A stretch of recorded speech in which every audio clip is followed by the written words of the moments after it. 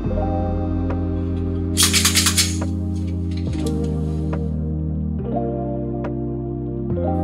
there, friends. Welcome back to the channel. Today, we're taking a look at my general purpose rifle build.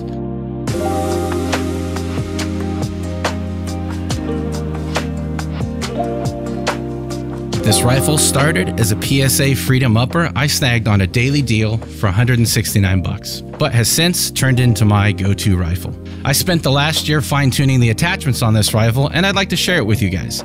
Let's take a closer look at some of my favorite parts about this build before hitting the range with it. If you're new here, welcome. I'm so stoked you're choosing to share your time with me. If you enjoy my content so far, leave a like and comment down below. I try to respond to everyone I can, and I'd love to chat with you. Also, please subscribe and share it with your friends. I do want to take an extra second and say a heartfelt thank you to the 5,000 of you that have already subbed to me. I am eternally grateful for your support, and I'm very thankful for you. Be sure to follow me on Instagram as well. I post tons of photo content over there, as well as behind the scenes video content that never makes it over here to YouTube. In a moment, we'll take a closer look at this GPR, but before we do, I'd like to discuss my professional relationship with the many companies involved in this build. The first is Lead and Steel. They make the red dot I currently have mounted on here. I reached out to them because I wanted to try their unique take on a large format red dot, and they were kind enough to send one over for me to check out as long as I told you guys what I thought of it, good or bad and Weltool. Weltool was kind enough to send over a couple of their weapon lights for me to check out, and I'll be doing another video that deep dives into those. The main three features I look for in a GPR are 1. The ability to engage targets from 0 to 100 yards quickly. 2. The ability to engage targets beyond 100 meters accurately. And finally, 3. The ability to effectively ID and engage targets at night with or without nods. This build covers all those bases and then some. There are a few components where I went all out and a couple other components where I went with a more budget option. I'll try to explain my reasoning as we go over this build. First up, let's talk about barrel length. You know, it's all about finding that sweet spot between maneuverability and performance. That's why I went with a 16 inch barrel on this build. It strikes a pretty solid balance, giving me pretty great accuracy and velocity without being overly cumbersome. The difference between a 14.7 and a 16 inch barrel in practice is pretty minimal, so I figured I'd capitalize on the extra velocity where I could. Whether you're engaging targets at a distance or clearing rooms, this barrel length is totally manageable. Again, it's not going to clear rooms as easy as a 10.5 or a 9mm PDW, but it's also going to be able to reach out further than they could. PSA had an insane deal where these Freedom uppers were 169 bucks and I couldn't resist. I had been wanting to do a carbine length CAS V build with the new M-LOK version VLTOR was offering. I've used their classic CAS V EL on my 10.5 inch AR pistol for the last few years and I've loved it. And this fixed front sight post carbine length gas system PSA upper was a great base.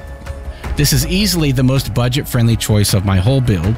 My plan was to swap out the barrel, but I've been really impressed with its accuracy so far, so I have no plan to swap it out for now.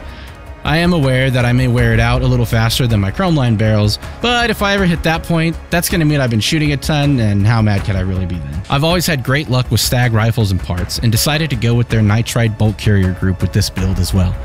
I'm running a Stag BCG in my pistol right here, as well as in a few other builds over the years. They simply work, and that's what I need out of a bolt carrier group. My initial infatuation with the CAS V handguards came from seeing these pics as a kid. The Navy was issuing them in the 2000s to the EOD teams, and I thought they were such a vibe.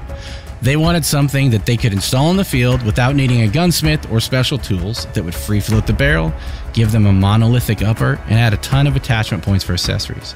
The early CAS V uses a fixed attachment point with modular Picatinny rail slots, whereas this new version uses M-LOK. Because the CAS V piggybacks on top of your current upper receiver rail, it also adds about a half inch of height to the rail, this is a non-issue for me as I prefer my optics sky high anyhow. As you can see, I paired my CAS V setup with the Unity Fast Riser and flipped center magnifier mount to get the optics center line to a 2.72 height. I found this height to be super comfortable to shoot at whether in full kit or not. The added height over bore is something you need to consider and train for, but once you know your holds, it's an easy adjustment, especially with circle dot optics. Having 100 yard zero means that the larger outer ring serves as my impact point any time a target is within 25 yards. The LP1 is no exception.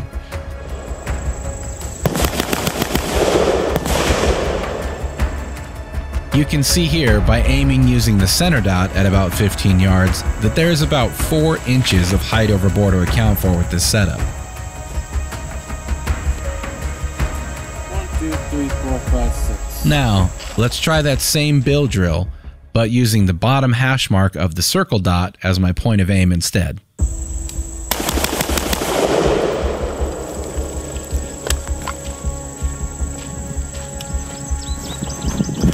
Now that we've accounted for height over bore, by aiming at the bottom ring of the circle dot, look at that.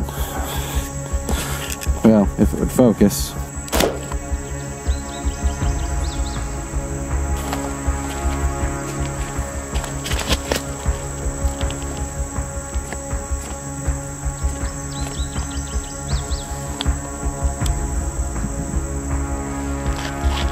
So if you're going to be running higher optics like I do, make sure to learn your holds.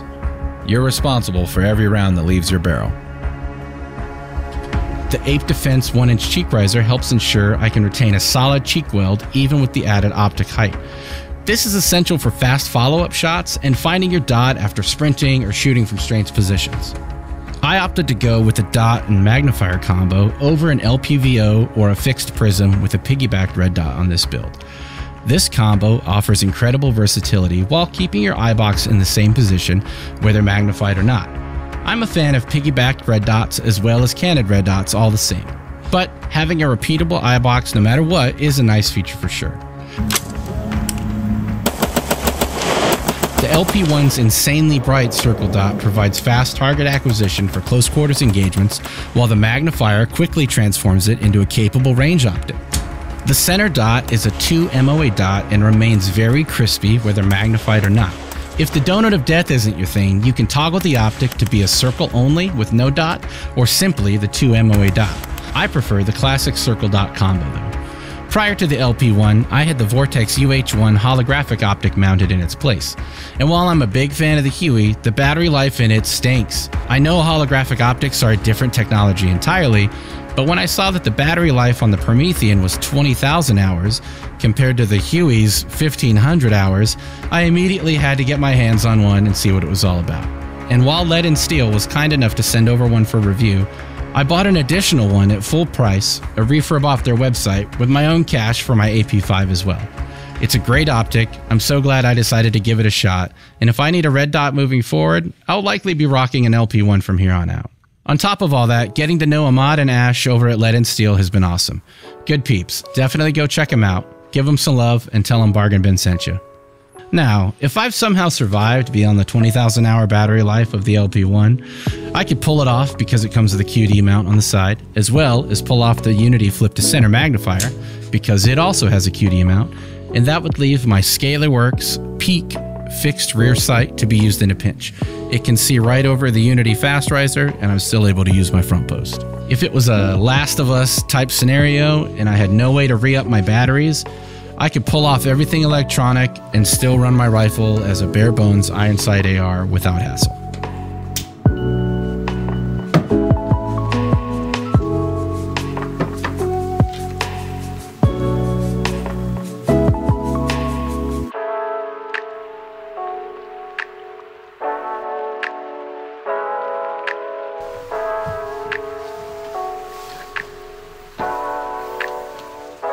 I also added the Law Tactical folding stock adapter to this build.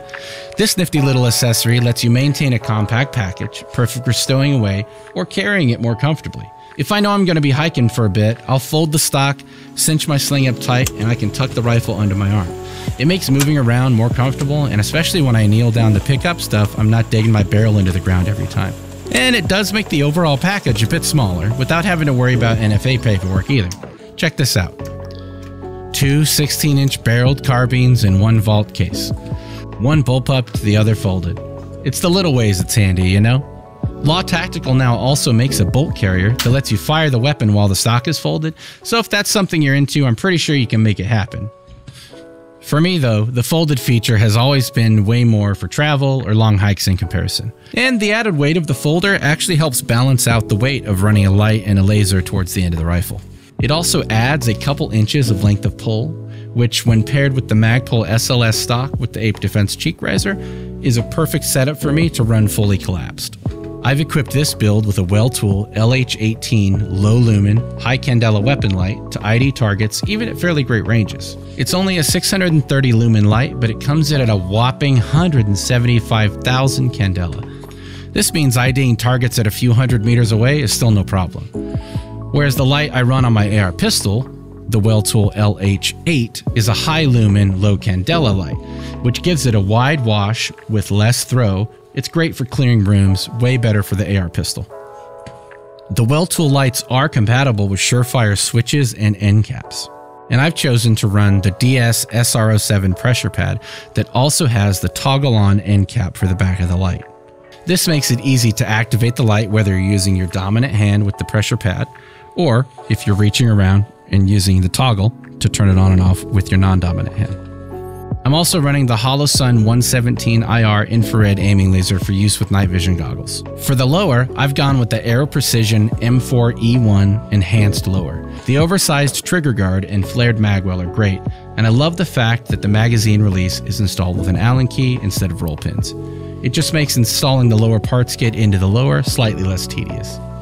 For the safety, I decided to go with a 45 degree throw, and I also went with the SCAR end caps from Magpul. I think they look awesome and they work really well, being a little shorter with these LOK grip panels that I'm running on the Driven Arms Co. CZ grip adapter.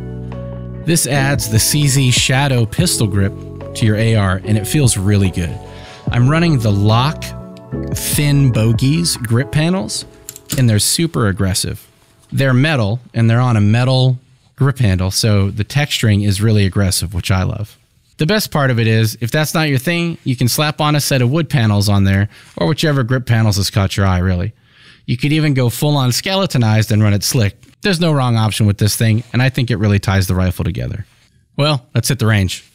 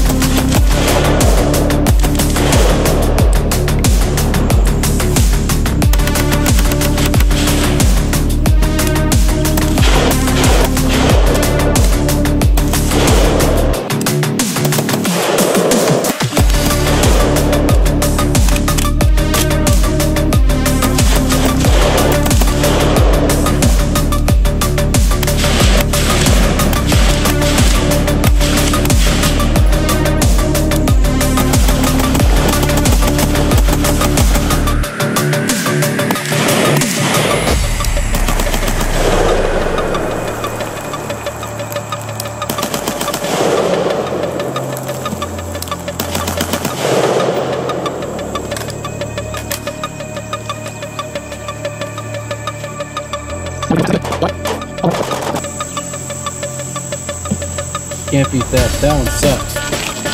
But if you're not making yourself suck every once in a while, you're missing the point.